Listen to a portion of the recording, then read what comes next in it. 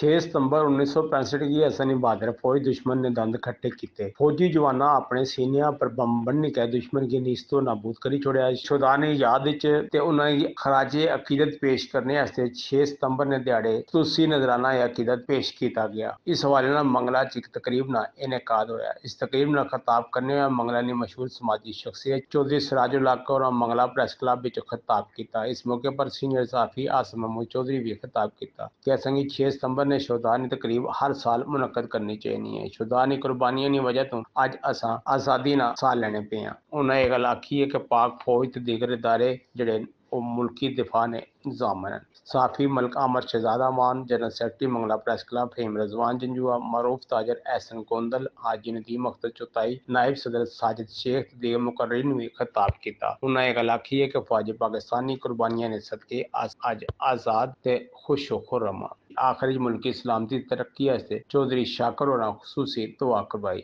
Mangla press club ने सदर सरदार जावेद इकबाल तरफों तमाम अहदेदारा शुक्रिया भी अदा किया गया मीरपुर आवाज़ मंगला आज़ाद कश्मीर।